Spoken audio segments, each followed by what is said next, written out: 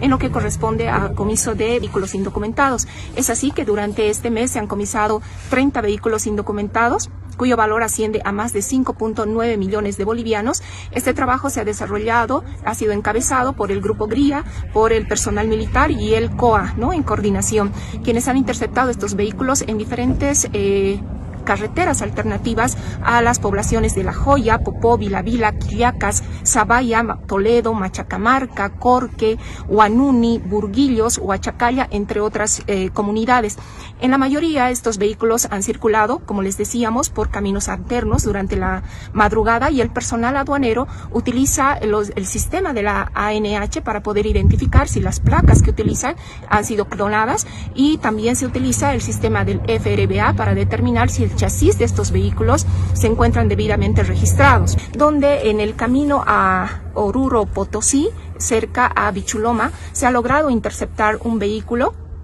en cuyo interior se encontraban dos armas de fuego. Estos vehículos eh,